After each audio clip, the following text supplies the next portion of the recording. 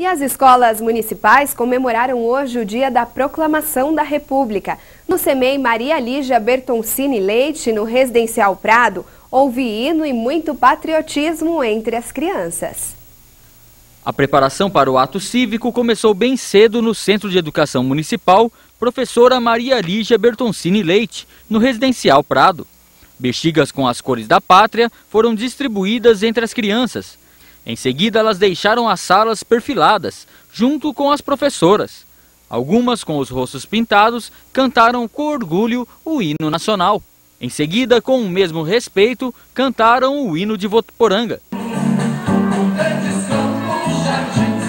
Com chapéu na cabeça, o Marcha Soldado foi apresentado por uma turma. Segundo os professores, as datas cívicas e o amor pela pátria precisam ser celebrados.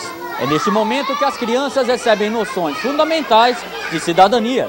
É de grande importância para a criança, né? Porque desde pequeno eles já vão adquirindo esses hábitos de civismo, de patriotismo e de cidadania mesmo, é, de amor ao próximo. E todas as datas as crianças vão é, cantando indo, aprendendo o, o porquê de cada símbolo que foi retratado aqui. A diretora explica que o patriotismo é tratado em sala de aula dias antes das celebrações cívicas. Toda data comemorativa é trabalhada em sala de aula anteriormente, né? Então tudo isso que já que teve aqui, na verdade, é um fechamento de um trabalho, né? Cada símbolo é trabalhado na sala de aula com o professor, o porquê da bandeira, o porquê de cada hino, de cada data específica, e aí cada sala organiza uma apresentação para ser apresentada para todos da escola. E as crianças aprovam a iniciativa. Eu gostei de que os outros cantou.